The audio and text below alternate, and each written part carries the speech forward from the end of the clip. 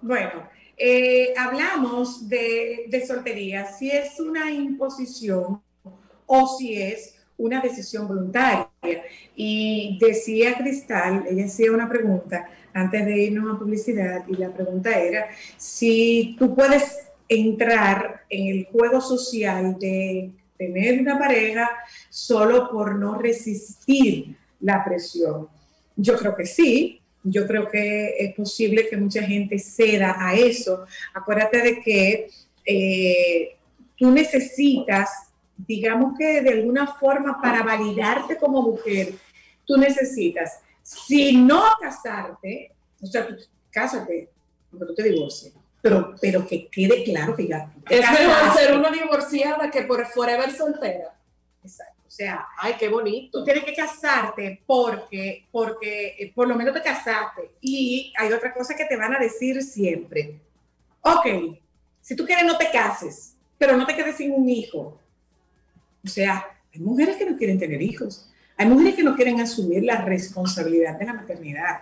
Hay mujeres que no quieren asumir la responsabilidad de un matrimonio. Hay mujeres que no quieren asumir la responsabilidad de la convivencia. Miedo a estar sola. Bueno, es que la construcción de un ser confiable eh, para ti misma, de una compañía agradable, toma tiempo. Una compañía con la que tú te sientas a gusto toma tiempo. No quiere decir que en el momento, que en un momento determinado tú no te sientas con necesidad de una compañía, pero estamos definiendo soltería a partir de compromiso con otra persona. Y eso no significa tampoco que tú seas una persona que no le tenga, que le tenga miedo al compromiso tampoco. No, es una decisión. Exactamente. Decidir que no. Es una decisión, porque por ejemplo, y también te iba a preguntar, tiene mucho que ver un tema de soltería en cuanto a lo emocionalmente disponible que tú puedas estar. Por supuesto, es que lo más, lo más sensato y lo más lo más honesto contigo misma y con esa otra persona es tú reconocer cuando tú no estás disponible para tener pareja.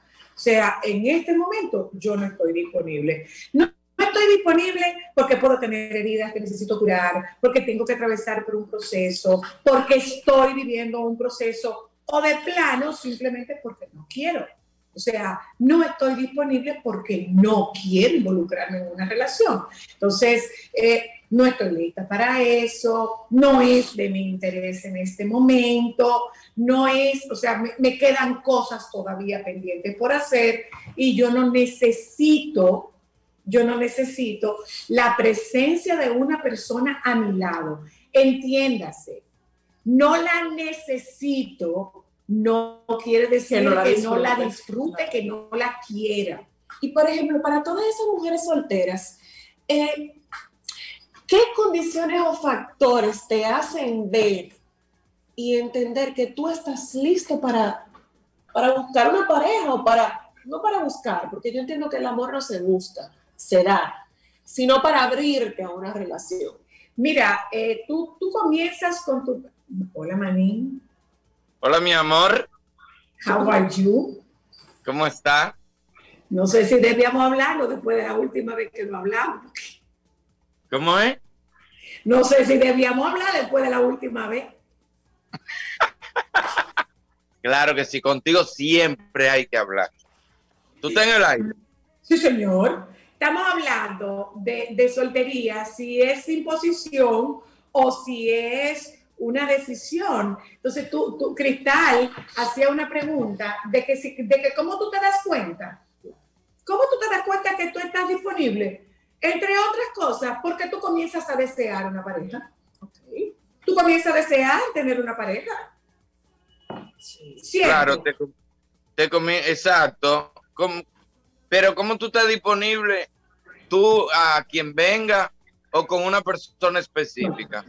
Tú para comenzar, mira, para, eh, para abrirte a la posibilidad de que venga alguien a tu vida. O sea, en este momento yo estoy trabajando en un aspecto mío y es un aspecto que yo no quiero compartir con nadie. Eso no me hace elegible para nadie.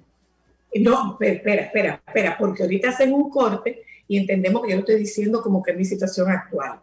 No, ok, estamos hablando de un caso hipotético.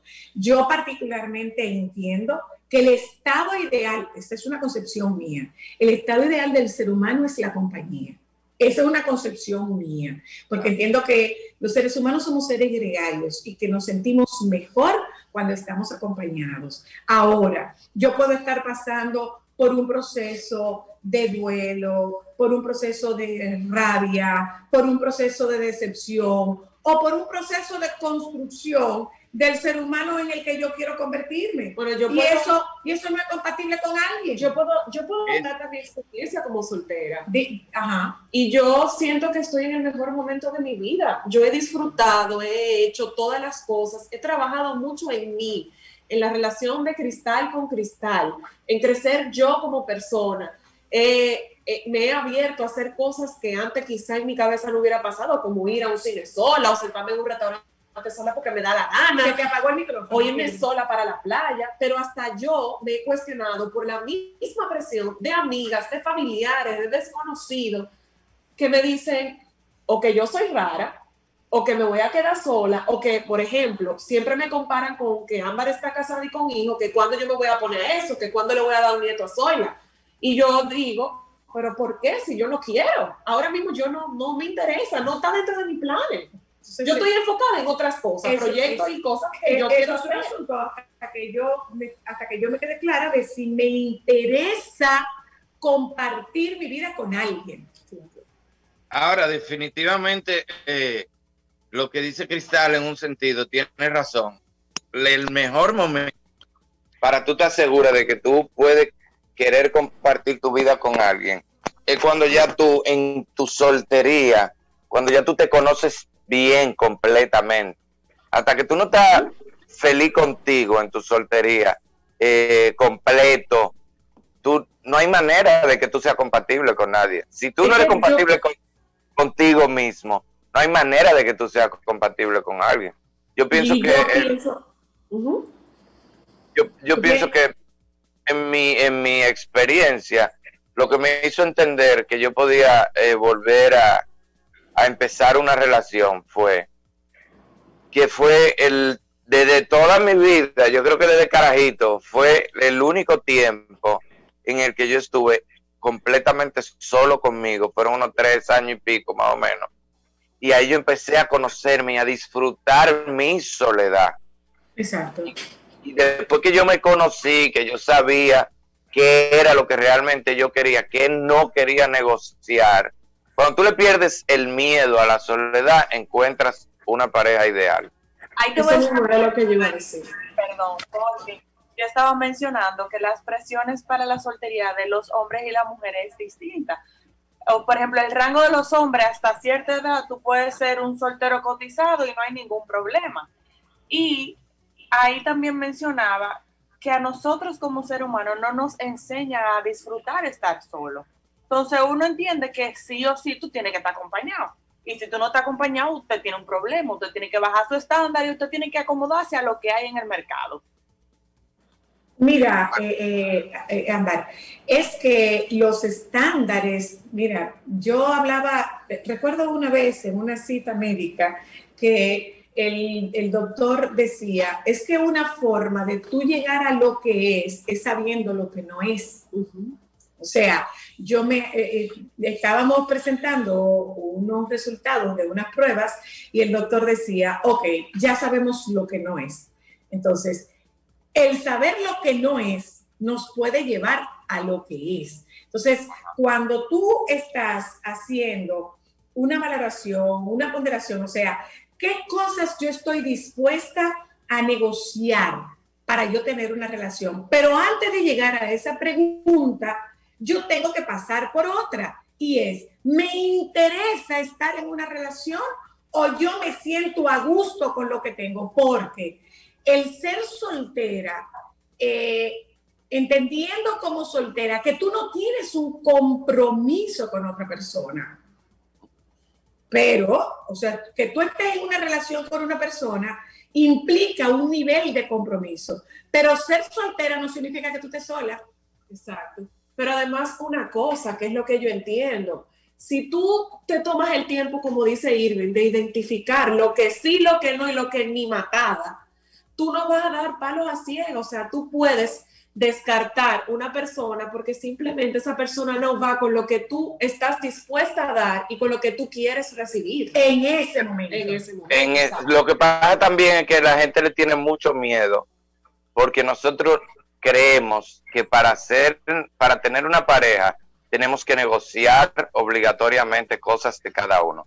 Cuando tú te convences de que, de que sí existe una pareja que te deje ser tú, como tú eres, con tus gustos, con lo que te gusta, con tus amigos, con, tu, con tus amigas. Y cuando tú estás dispuesto también a ser así con esa pareja, entonces tú no lo ves tan difícil el, el que todavía no estoy preparado para tener una pareja. Cuando tú ves que es posible encontrar a alguien, tú lo crees, tú ves amigo, tú, tú lo negocias desde el principio, o sea, tú dentro de tu soltería te puedes tomar el tiempo para hablar con alguien y decirle, mira, eh, claramente con toda honestidad, a mí no me interesa ni ser mejor en nada. O sea, yo soy feliz como yo soy, yo no quiero ser mejor en nada.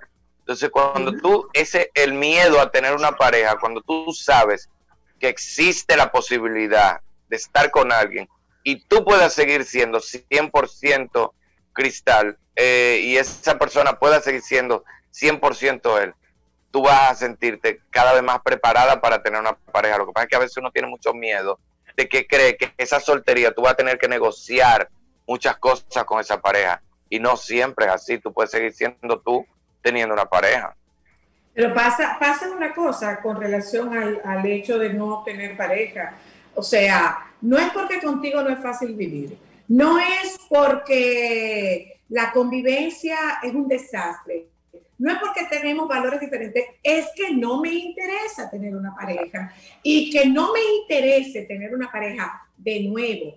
Hablando de tener una pareja como el compromiso de una pareja. Yo tengo un compromiso con mi soltería, yo tengo un compromiso con mi soledad, yo tengo un compromiso con una etapa de la vida que yo puedo disfrutar a los 30, a los 40, a los 50. Bueno, pero es que tú no te vas a quedar sola el resto de tu vida. ¿Y quién dijo que no? ¿Quién dijo que no? O sea, yo tengo la compañía, yo tengo la compañía de quien no me quiero separar nunca y esa compañía soy yo. De nuevo, no estoy hablando en términos personales, estoy hablando de razonamientos que se hacen para no tener una pareja. O sea, ¿por qué tú no tienes una pareja? Simple, porque no quiero. No quiero. Pero es porque tú no quieres cargar con nadie. No, es porque no quiero porque lo que yo vivo, porque es una elección. O sea, no tener pareja es una elección. De nuevo, eso no quiere decir que yo no tenga, me voy todavía a, a puntos más extremos. Eso no quiere decir que como pasa con los hombres, una mujer no tenga sexo ocasional sin tener pareja. Claro, con todo el derecho. ¿Entiendes? ¿Y eso está pasando, Irving? Claro que sí. Claro que sí. Yo no. Yo, conozco parejas, o sea, ni siquiera parejas. Yo conozco relaciones de gente que tienen una amistad con derecho, como se dice, de años. Y ninguno de los dos le interesa convivir con el otro. Y viven una vida feliz y se juntan de vez en cuando a tener intimidad, se lleva muy cool pero cada uno así es que quiere vivir. Yo creo que también la gente lo último que le que, que se le que se que recuerda preguntarle al otro es si está cómodo, si está feliz. La gente le encanta mandar también en la vida del otro. Tú deberías. ¿Y por qué tú no te buscas parte? ¿Y por qué? Pero pregúntame primero. ¿Tú estás cómodo? ¿Cómo estás? Feliz. Ah, no, pues ya me sobran la lo que te iba a decir sobra. Entonces la gente acostumbra tenemos una necesidad de dirigirle la vida al otro, obligado. porque la de nosotros nunca está tan perfecta. porque la de nosotros nunca está tan perfecta y tenemos que buscar una alguien que crea que nosotros somos monstruos dirigiendo. mira, hay, hay, una situación, señores. Eh, yo no sé cómo se va comportando eso en nuestra, en nuestra sociedad Pero fuera de aquí, tú tienes marketing para solteros. O sea, gente viaje para soltero, restaurante para soltero, apartamento para soltero, gente a la que no les, porque también ahora te acabas de decir algo, Cristal, eh, y, y, y, y, cuento contigo para eso, Irve. Hay una, tú no oyes un apartamento de soltera, pero sí oyes un apartamento de soltero. ¿Y qué no, tú dices, fulana vive, tú dices, fulana vive sola. Ajá. Pero tú nunca ¿Qué es un apartamento soltero? ¿Qué es un apartamento soltero? Un apartamento soltero lo que te indica es que es un evo que tiene un apartamento para llevar mujeres. Eso es lo que tú, cuando tú lo oyes y así. no necesariamente tiene que ser así. No, mi hija, ese hombre se mudó solo. Eso es que va a baratar pero a, pero a nosotras, eso va pasando con, con, la generación de ustedes. Cuando tú vas delante de un papá o de una mamá y le dices, yo me quiero ir a vivir sola, ¿qué lo, ¿cuál es la respuesta? Ajá. ¿A qué va usted a vivir sola para allá? No la va a respetar. ¿Por qué tú tienes necesidad de eso? ¿Qué va a decir, la, tu casa, ¿qué va a decir la gente si, tú estás viviendo sola? ¿Qué va a decir la gente? Entonces, la, la cosa cambió. La cosa cambió. Hoy en día tú estás viendo que cada vez hay más mujeres que están experimentando vivir solas porque lo que no quieren o sea, lo que están buscando es un compañero de viaje, no es ni un asesor financiero, eh, ni un asesor financiero, ni, ni, un, ni un asesor espiritual ni legal. No, o sea, yo, no, yo estoy buscando una gente con quien pasarme el tiempo que yo quiera bien. Que, esto sea, que esto sea para pasarlo bien Ajá. No para volvernos locos. Yo creo incluso que, con la libertad que hay hoy en día, las parejas son, aunque, aunque duran menos tiempo, el tiempo que duran tiene más calidad. Yo creo. Porque antes a veces, eh, por los compromisos sociales también, parejas que duraban una vida eterna y de esa vida eterna la mitad ya no querían estar juntos. Y sin embargo se quedaban juntos por compromiso. Hoy ya, está... ya hay cierta edad también que tus compromisos cambian, porque tú, por ejemplo, ya, por ejemplo, a mi edad, a mis 35, yo entiendo que ya yo no tengo que estar tan involucrada con la familia, eh, no tengo que estar tan involucrada con los amigos, o sea, yo tengo mi espacio, tú tienes tu espacio y nos juntamos cuando queremos, o sea, es como... Pero déjame decirte, déjame, déjame, decirte que con, con tantas charlas y tantas cosas que uno está viendo y y que uno eh, oye tantas eh, como convenciones de uno sentirse bien, no hay edad ya para tú entender cuando tú quieras hacer un cambio de vida. O sea, yo he visto gente muy adulta con 70 años que se divorcian. Y o sea, ya no es como, ya no es como antes, de que no, a que tú te vas a divorciar lo que tú oyes del otro lado y ya para qué tú te vas a divorciar a los 70 años. Después de 45 años de matrimonio, ¿para qué te vas a divorciar? Para hacer mi vida. ¿Para qué? Para yo ser feliz y para dejar que esta gente sea feliz también. Eso es básico, porque la gente cree que para uno ser feliz. No. Se te cerró el micrófono, Maní. Se te cerró el micrófono, Irving. Se te cerró el micrófono seguimos con ¿Aló? Aquí Pues sí, o sea, ¿y ya para qué? O sea, es todo viejo, oye bien, ¿eh? Es todo viejo para qué se están casando a esta altura del juego. O es ah. todo viejo para qué se están divorciando. Esto no, esto para ser feliz. Porque yo, conozco una gente que me. Porque yo, no consigo el final de mi vida con esta amargura. Exacto, yo conozco una gente que me dijo así pero de muy avanzada edad, me dijo así mismo, yo llego un momento que, porque tú en cualquier año tú puedes tener una reflexión que te, que te chipe el cerebro y te cambie la vida. Me dijo, yo entendí de repente que yo todo lo que había hecho en mi vida y todo lo que había vivido había sido en base a mi pareja. Todo yo lo hacía, por, a mí me gustaba la playa, pero siempre iba a la montaña porque entonces yo me pasé la vida entera complaciéndola.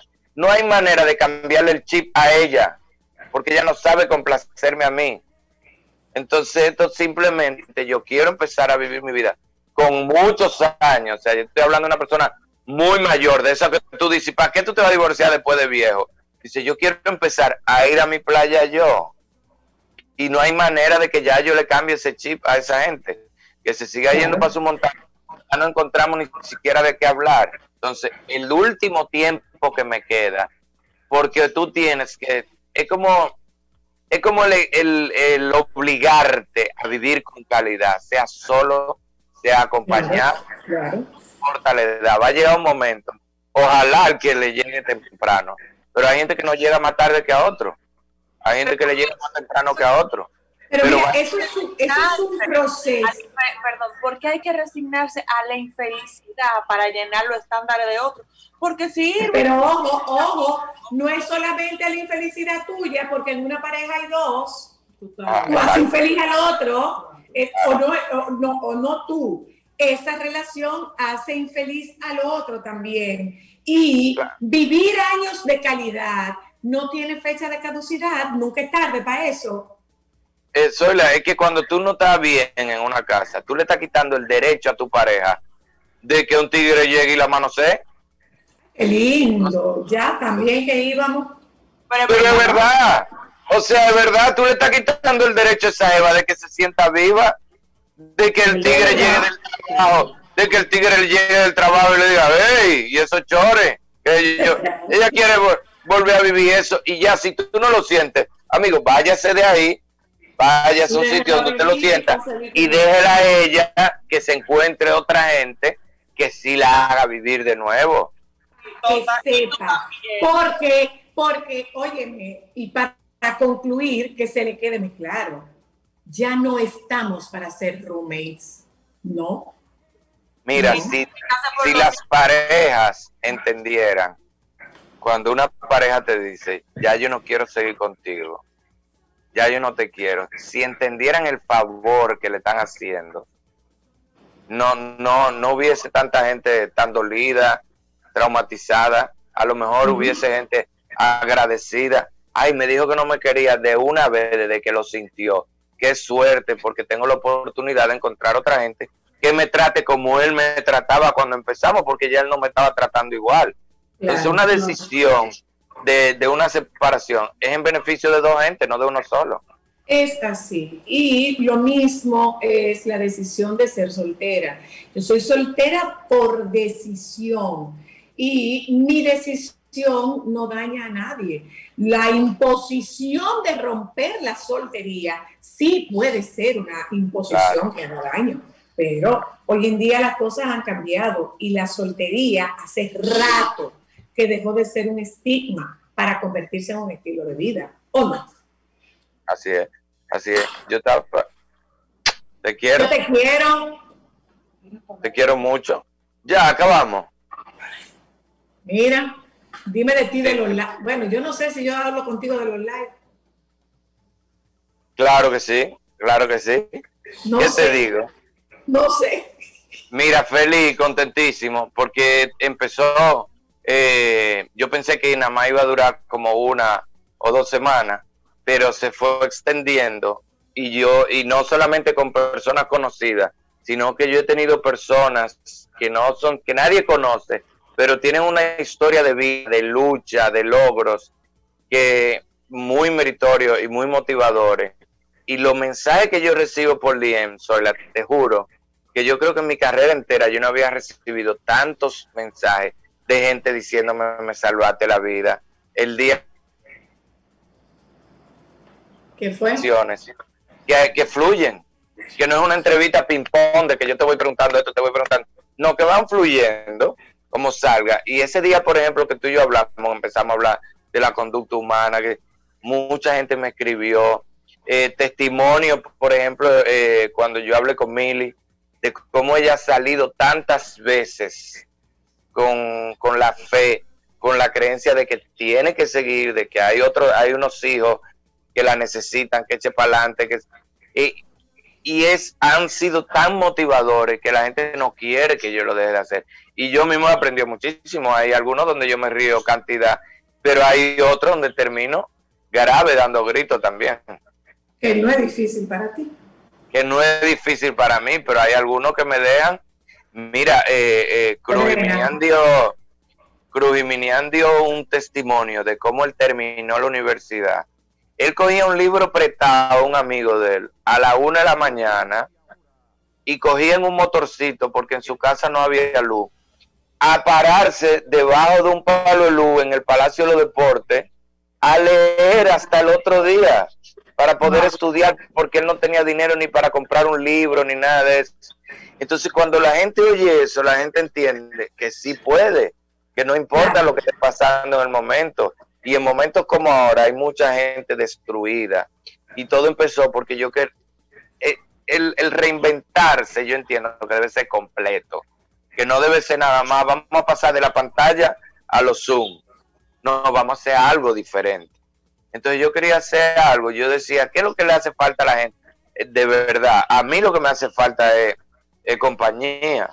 O sea, a mí eh, hay días que yo no amanezco con ganas de reírme, pero sí te, pero, pero te dejo un buen mensaje para oírlo, porque me puede reconfortar. Y entonces eso surgió en base a eso, buscando como una necesidad, ¿Qué es lo que necesita la gente? La gente necesita compañía. ¿Hasta cuándo va a llegar eso? ¿Hasta cuándo va a llegar, Irving?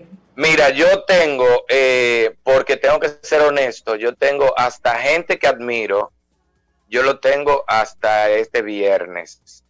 Entonces después yo vengo un par de semanas eh, con unos programas temáticos y después comienzo un Irving Alberti Live normal, sin especificar, yo te puedo admirar como no admirarte. Un día puede ser una gente que yo admire, un día puede ser una gente que yo no admire, pero me lo están pidiendo que lo entreviste. Eh, ¿Por qué? Porque, porque esta parte, ya si todo lo que pasaron, ya si de una u otra manera, son personas que gozan de, mi admiración. Entonces yo tengo que ser honesto y la gente me está pidiendo una serie de figuras que, que, quiere que yo entreviste, pero yo no los admiro pero son figuras interesantes para otros. Entonces ya yo tengo que ir sacando esa gente que admiro para hacerlo más abierto, porque también tengo que, no puedo dejar de ser honesto con la gente y entrevistar a una gente. Y, y no es por el arte, o sea, como yo decía los otros días, yo conozco gente que son lo más monstruos como artistas en el país, fuera de aquí, lo que sea, pero yo no me imagino asistiéndole a una entrevista de que motivadora, porque no me parece que su vida sea tan interesante, que tenga nada que decir que me ayude a echar para adelante. Mira, y para, despedirte, Irving, se pica bien ahí. Sí, si tú supieras que yo eh, se consiguieron unos patrocinios de, los Miami y de, oye, qué locura, de aquí no tengo, pero tengo de, tengo de, de, aquí no tiene nadie. Exacto, pero conseguí de por allá y por la página de YouTube, ahí se pican una cosita chévere. Así que, de la gente que admiro. Ay, gracias, mi amor. Gracias. Te, quiero, te adoro. Bye, amor. Bye, Bye, bye, cariño. Vamos un momentito a publicidad, regresamos de publicidad y conversamos con la magistrada Olga Dina. Esta vez hablamos de matrimonio infantil. Ya volvemos.